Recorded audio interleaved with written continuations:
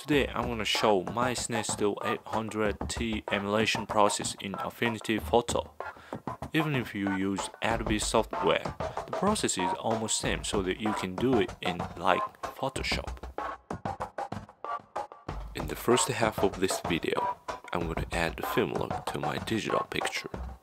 And then, in the latter part of this video, I'm going to add halation which is the salient feature of Cinestill 800T. I'm to use this picture and make like this. So, let's get right in.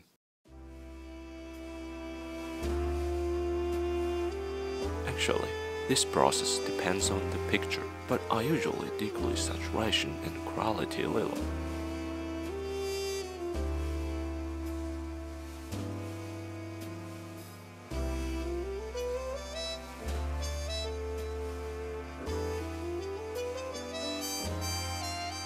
And slightly darken the image to get film look.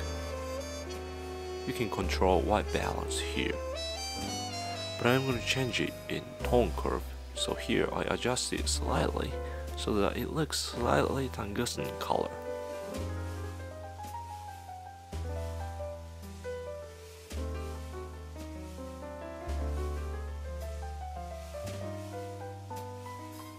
Don't forget to add grain.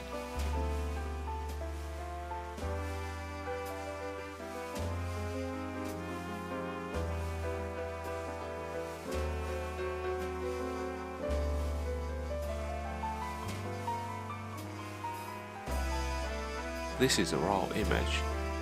In black area, RGB is close to zero, which means black is almost completely black. But film image usually has faded black that the lowest RGB is around 10 to 30. Of course it depends on the film and the environment. This is a picture taken with Cinestill 800T I guess.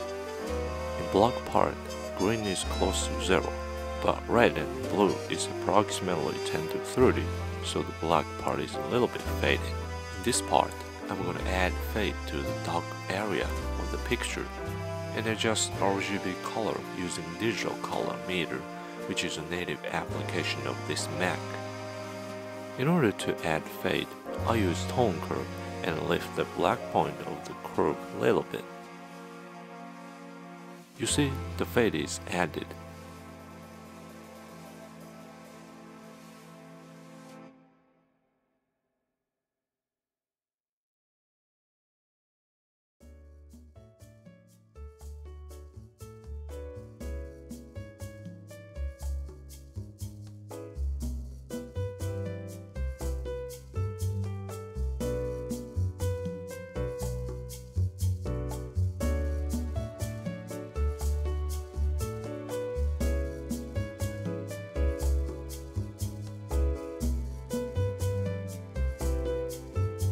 Black area. Red is the strongest color and green is the weakest. From highlight to mid, green and red is dominant than blue.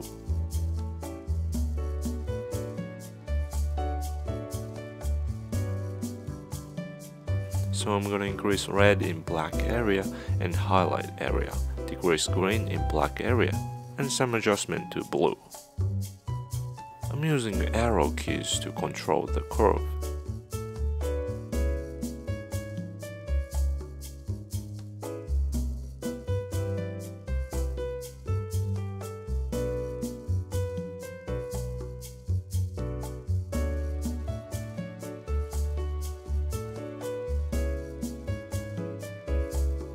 By the way, this is quite rough adjustment. If you want to emulate the color more precisely, I recommend you to use Color Checker and Capture One. Capture One is much more specialized for color correction and grading, and you can adjust more details.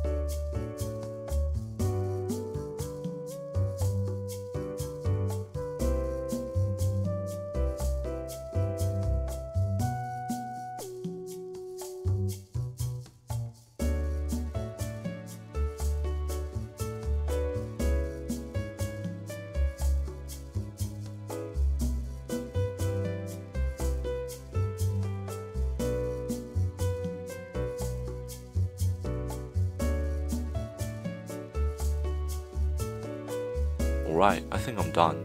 Then press develop button. From now on, I'm trying to add halation to the highlight area. First I'm gonna duplicate the image. Then choose threshold to choose the highlight part of the image.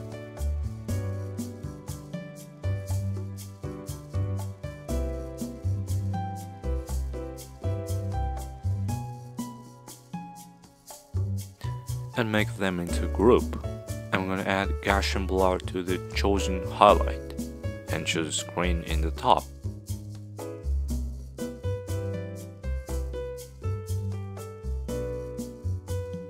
I add pixel layer and fill it with red.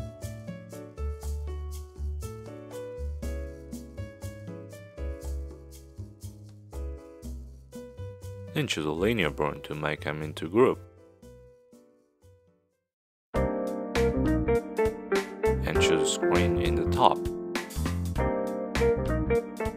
Next I add tone curve and level curve to this red filled layer. Just imitate the shape of the curve when you do it in your computer.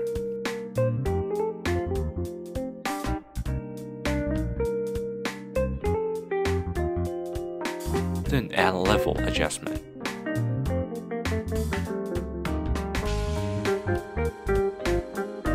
I only touch white level and gamma here.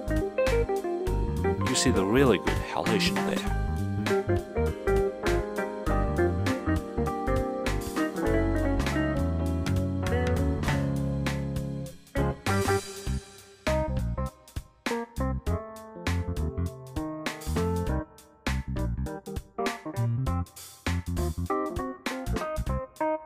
The process from now on is not vital. Choose original image and add Gaussian blur.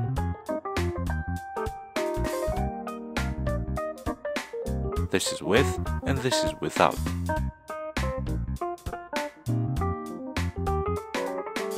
And duplicate the image and shift it to left and top slightly. I use arrow keys on my keyboard to move the image.